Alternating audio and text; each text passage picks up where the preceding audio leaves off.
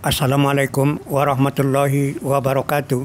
PON 21 Sumut Aceh sejak dibuka Senin malam 9 September 2024 secara resmi oleh Presiden Jokowi di dua tempat Banda Aceh dan Lubuk Pakam, Sumatera Utara sampai Kamis 12 September 2024 sudah memasuki hari ketiga pada hari kedua, Rabu, salah satu cabang olahraga yang dipertandingkan adalah tenis meja bertempat di gelanggang olahraga Gor Angkasa Pura, Jalan AR Hakim, Medan. Pertandingan cabang tenis meja dibuka Selasa 10 September 2024 oleh Ketua Umum Besar Pengurus Besar Persatuan Tenis Meja Seluruh Indonesia Peter Layardi Lei bertempat di gedung tempat dilaksanakan pertandingan tenis meja PON 21 Sumut Aceh.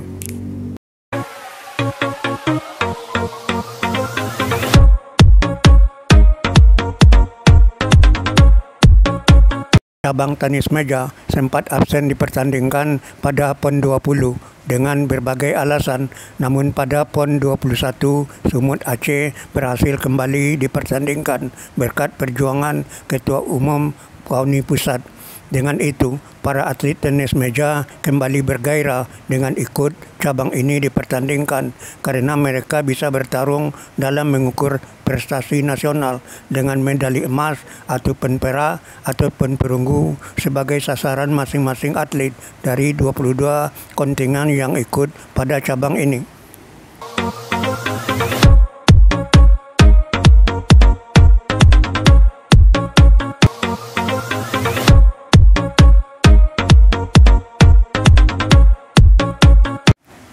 Pertandingan cabang tenis meja yang akan memperebutkan tujuh medali emas secara keseluruhan akan bertarung dalam 16 tim bergu putra 15 tim bergu putri, 16 pasangan ganda campuran, 32 ganda putra, 26 ganda putri, 64 tunggal putra, dan 60 tunggal putri.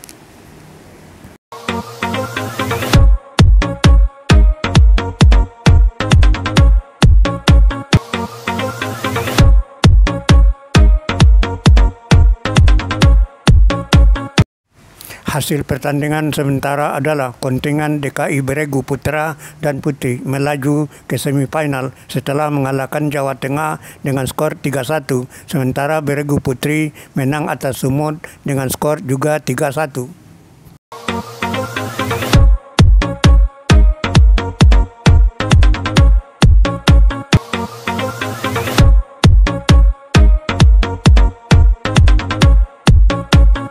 Demikianlah tayang ini. Terima kasih telah menyaksikan dari awal sampai akhir. Sampai jumpa dengan tayangan lainnya. Wassalamualaikum warahmatullahi wabarakatuh.